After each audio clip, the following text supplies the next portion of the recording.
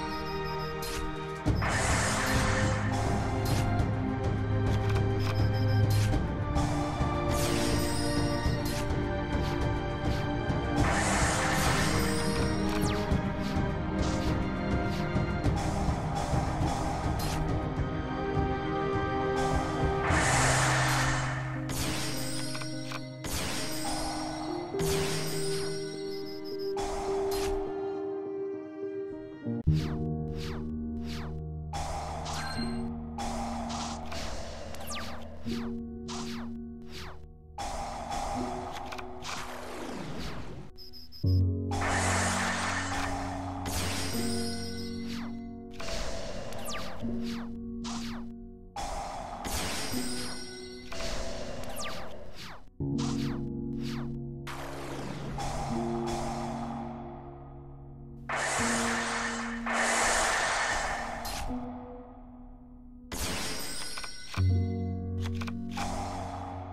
you